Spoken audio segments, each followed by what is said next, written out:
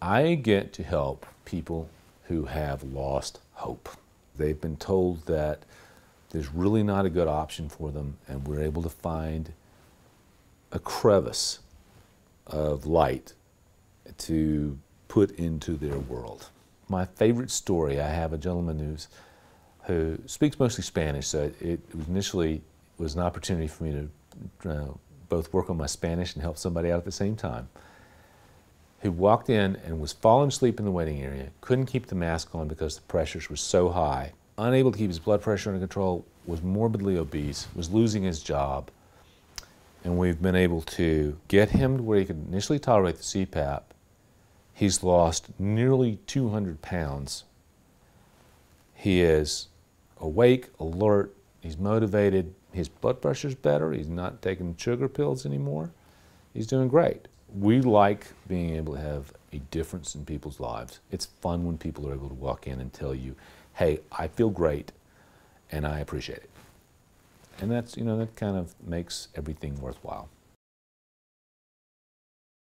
Life is much more fun when you have a group of people that are moving in the same direction together. And that is what we have. We get to make a difference in everybody's lives and that makes it fun.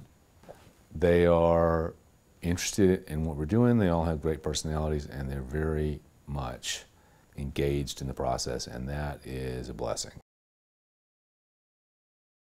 Some time ago, I was told, hey, you need to not talk so much because you're making people confused.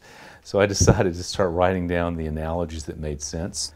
And I was talking to a friend of mine at a conference in, about sleep. We decided that we would try and take all the concepts that seemed to make sense to people and collect them in a book so that we could make up for our uh, shortcomings by uh, taking medicalese and putting into peopleese.